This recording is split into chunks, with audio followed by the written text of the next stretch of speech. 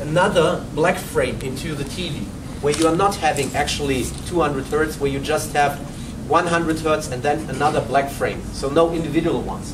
And the problem with this is that we, we tried around this one and we faced a couple of problems. First of all, you are losing a lot of brightness, so the efficiency is not there. Some people say 50%, some people say 75%, depending. Losing brightness means losing contrast, losing picture quality.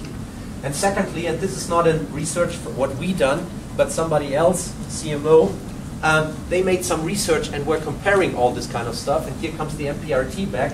So with a normal 50 hertz, whatever, we have around um, we have around 40 milliseconds. With pseudo 200 hertz, we're achieving around 6 milliseconds MPRT. And with 200 hertz, um, real 200 hertz, you're achieving roughly 50% better performance in terms of performance, uh, in terms of motion.